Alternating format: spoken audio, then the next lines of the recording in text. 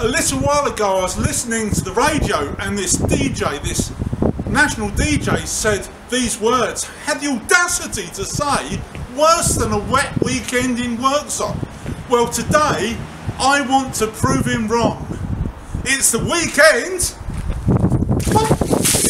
I'm wet and Worksop's still wonderful.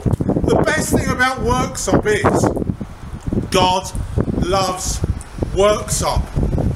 He thinks what Worksop is wonderful.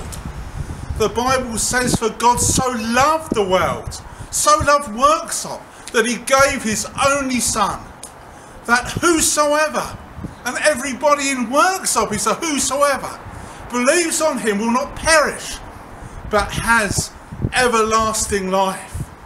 God loves Worksop. Let's love Worksop like God loves Worksop.